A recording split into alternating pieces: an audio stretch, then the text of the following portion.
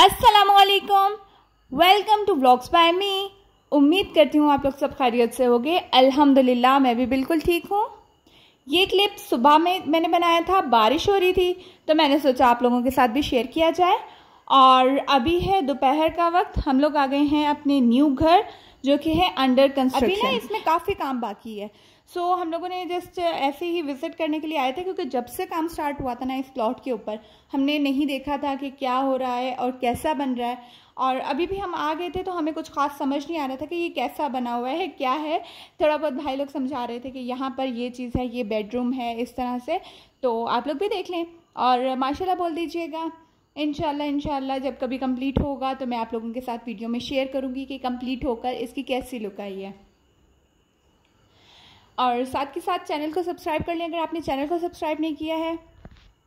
Video को like कर लीजिएगा, क्योंकि यही एक मोटिवेशन होती है मेरी वीडियो बनाने की। और आप लोगों के साथ शेयर करना था कि मैंने ब्लॉगिंग क्यों स्टार्ट की है। एक्चुअली मैं जो है ना ऑलरेडी जो सबा हैं, सबा का जहान उनकी वीडियोस देखती थी और मैंने उनसे मोटिवेशन ली है। अल्लाह ताला ने उन्हें कितना कामयाब किया हुआ है, माशाल्लाह माशाल्लाह। और वो हैं इस काबिल कि जो है ना, सब उन लोगों को पसंद करते हैं और मैं उनकी एक फ़ैन हूँ।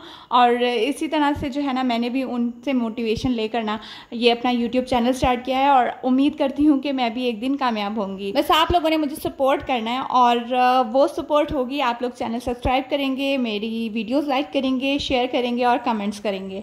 अच्छा जी, उसके बाद हम लोग आ गए थे पार्क। यहाँ जो है पास ही एक छोटा सा पार्क था और मैं यहाँ पर सनसेट देख रही थी। काफ़ी अच्छा व्यू आ रहा था और बच्चे जो है ना मुख्तलिफ़ झूलों के ऊपर ना अपना जो शौक़ है वो पूरा कर रहे थे और उन लोगों का दिल बिल्कुल भी नहीं भर रहा था। बच्चों ने हर किस्म का झूला लिया जो जो उस पार्क में फ़िलहाल अवेलेबल था।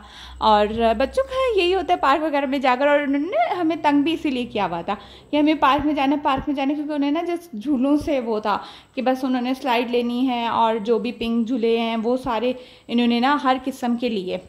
और ये देखें, इनके भाईजान जो है ना, इन्हें अच्छे से झुला रहे हैं और माशाल्लाह माशाल्लाह, बच्चियाँ बहुत खुश हैं और झूल रही हैं। आप लोग भी माशाल्लाह बोल दीजिएगा। उसके बाद यहीं हमारे घर के पास ही ना एक फ़ास्ट फ़ूड की शॉप थी और हम लोग वहाँ चले गए। कुछ देर के लिए हमने कहा, चलो, जब बाहर निकले ही हैं तो कुछ ना कुछ खा के बाहर से आए। तो और हमने ये फिर ये चीज़ें ऑर्डर की थी खाने के लिए। ख़त्म हो चुका है सबने बहुत मज़े से जो है ना पेट भर के खा लिया है और उसके बाद ना हम लोग वॉक करके ही घर गए। घर हमारा है भी पास ही यहाँ पर शॉप के करीब ही था।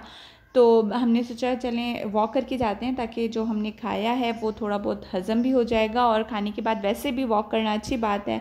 तो बस हम लोग वॉक करते हुए जो है ना अपने घर जा रहे हैं और साथ ही साथ बच्चे काफ़ी गए थे।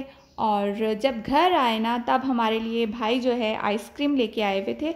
उस वक्त तो हम लोग काफ़ी फुल थे तो हमने सब कुछ फ्रीज़र में रख दिया था और फिर काफ़ी लेट नाइट जो है ना, हमें याद आया कि हमारी आइसक्रीम्स पड़ी हुई हैं और हम सबने जो है ना इन्जॉय की आइसक्रीम्स। और आई होप कि आप लोगों को वीडियो अच्छी लगी होगी। वीडियो अच्छी लगी हो तो प्लीज़ लाइक और चैनल सब्सक्राइब कर दीजिएगा। अल्लाह हाफिज़।